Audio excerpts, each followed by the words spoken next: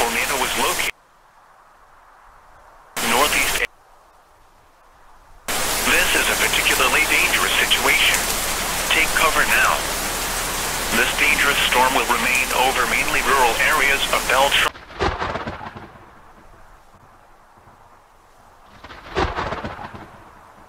Not without shelter. Mobile homes will be destroyed. Considerable damage to homes,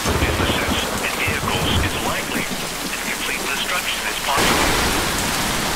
Heavy rainfall may